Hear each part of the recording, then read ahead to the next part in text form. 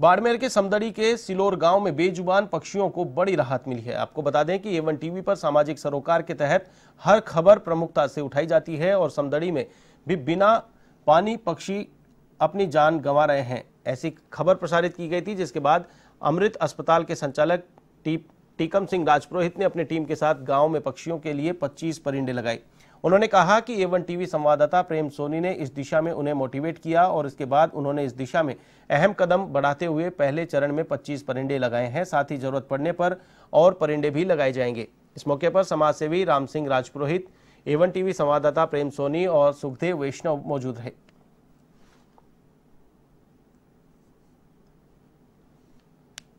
जगह पर लॉकडाउन चल रहा है। ऐसी स्थिति में कई लोगों का घर से बाहर निकलना भी मुश्किल हो गया है। तो ये भूख भोगीर पशु, पक्षी है मवेशी जो पानी के लिए दर दर की ठोकरें खा रहे हैं, इनको पीने के लिए पानी गर्मी बहुत ज़्यादा पड़ रही है, पानी की समस्या थी।